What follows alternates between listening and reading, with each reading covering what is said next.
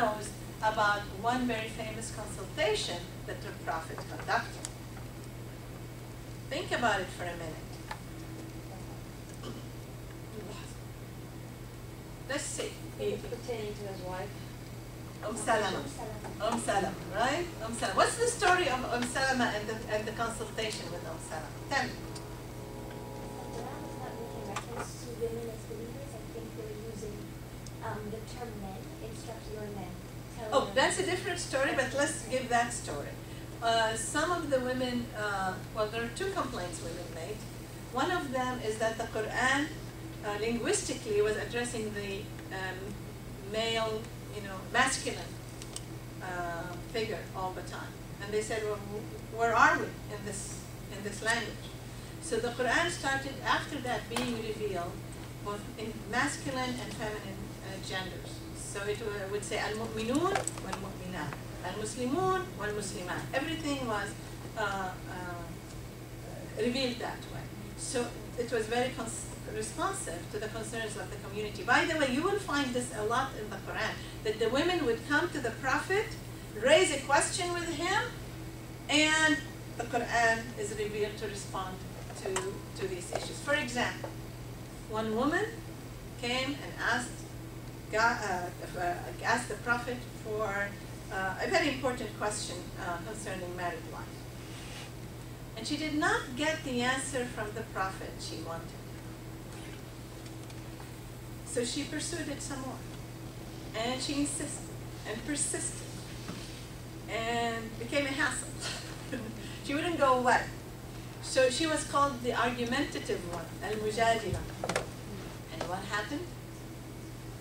A whole chapter in the Quran was revealed for the woman who argued. It's called the woman who argued, answering her. Because she told the Prophet, she said, I'm not asking you. I'm asking your God. Go back to your God and get me the answer. Huh? She was very brave. Compare, compare yourself to her. She was arguing with the Prophet himself. But remember, the Prophet was, uh, uh, you know, modest. He practiced humility. He encouraged people around him to talk. He did not oppress them.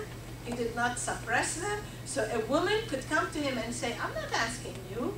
I don't like your answer. Go to your God and get me the right answer. That's what happened. And he went back, and the whole chapter, the woman who argued, you can look it up in the Quran, was revealed. Who, who is this one? The woman who argued. That's all I know about her. What's the name of the surah? Al-Mujadila. Some people say it says Al-Mujadala, but I think it's Al-Mujadila. So, hi, come on in. This is Dean Karamani, and she'll be addressing you. So, the question that I was, uh, the, uh, the, the example I was raising of Umm Salama is a little bit different. What happened between the Prophet and his wife Umm Salama? All right, I'll go to you this time. Yeah. Um, so um, it was when they were doing uh, Umrah, uh, they, they were heading off to Mecca to do the Umrah. And then the Prophet made uh, the uh, As-Sulh al-Hudaybiyah. So it was, um, uh, So he had engaged in a political reconciliation with his enemies, and the Muslims, the new Muslims, could not understand why the Prophet, when he is so strong, was engaging in a reconciliation and an, uh, and an agreement instead of just going in and, and uh, you know overcoming all his enemies. So they got moody, uh, you know, they pouted, and and what happened?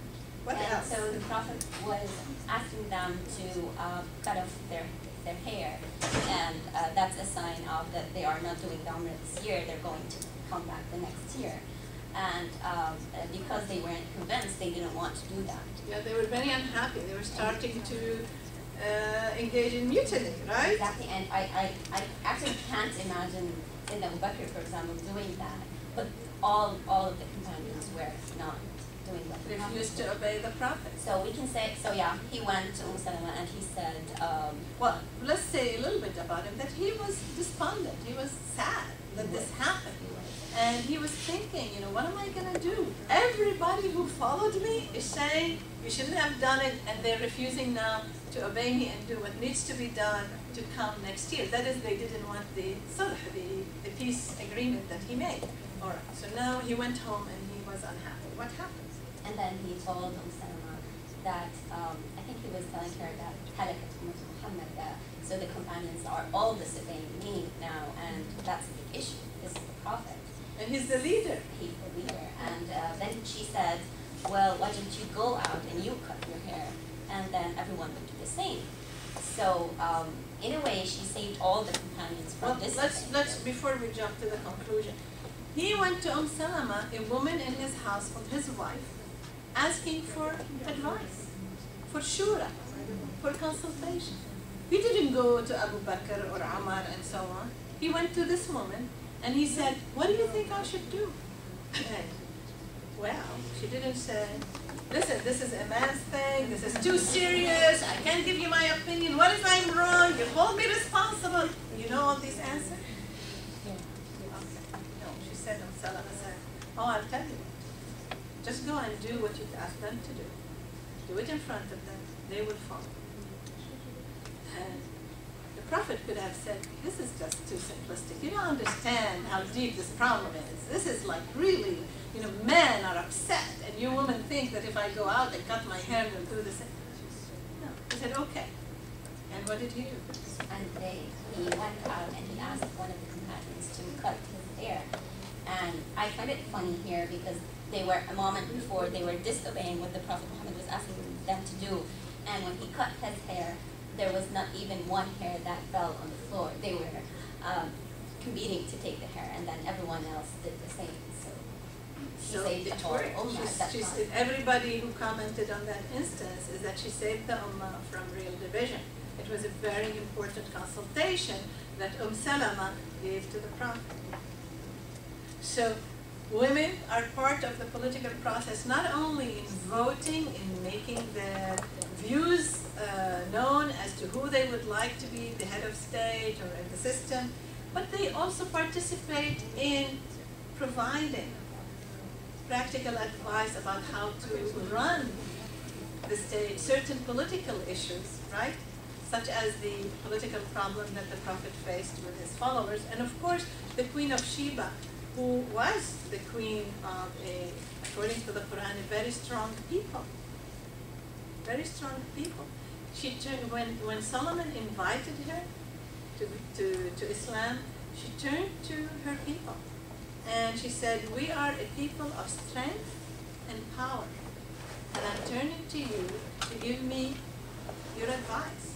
What would you like me to do? So again, Queen of Sheba, who was spoken of positively in the Quran, also turned to consultation. Consultation is part and parcel of Islamic uh, governance. Okay? In modern times, consultation might show itself either in as some ju- uh, jurists have explained, parliamentary uh, work. So the parliament basically represents the shura of the people. But also, if you look at a system like the United States, the president here has many advisors. So advisors could be within the executive branch, which we will talk about. It could be within the legislative branch.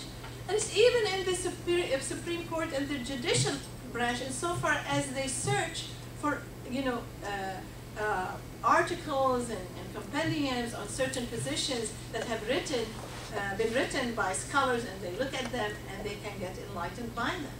So shura could happen in every branch of society, vertically as well as horizontally. So whatever we're talking about today is not new and is not Western.